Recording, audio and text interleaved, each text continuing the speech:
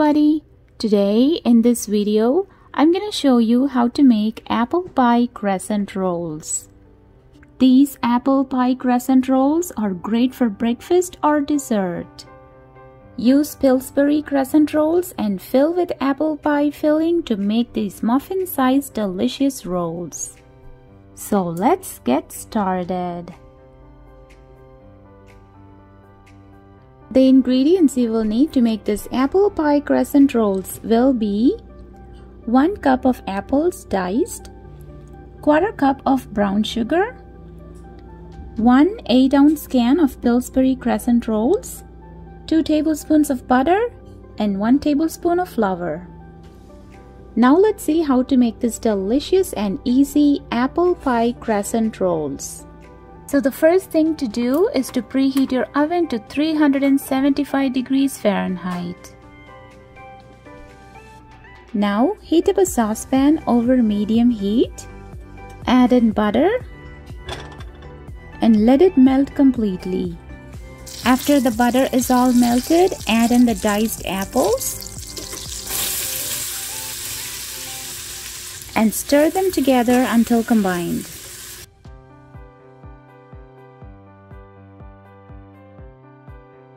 Now add in the brown sugar and mix it well. Now cook the apples over medium heat until it softens for about 3 minutes.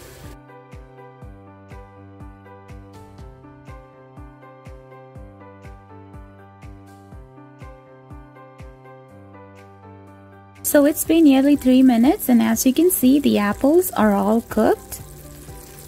Now add in the flour and stir it well until it gets thickened.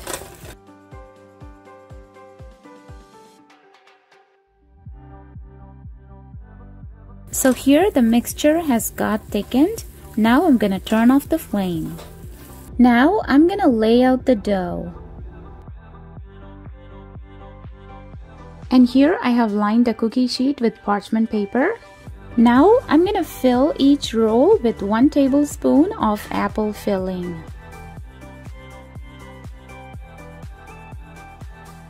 Now I'm gonna roll over each dough to make crescent rolls. Now I'm gonna place these on a cookie sheet lined with parchment paper. And now I'm gonna bake these in a 375 degree oven for 12 minutes. So here are the apple pie crescent rolls right out of the oven. They've been baking in there for nearly 12 minutes. Now I'm gonna let it cool down for a while. And that's it. Delicious and easy apple pie crescent rolls are ready to be served. Thanks for watching. Like and subscribe for more cooking videos. Bye.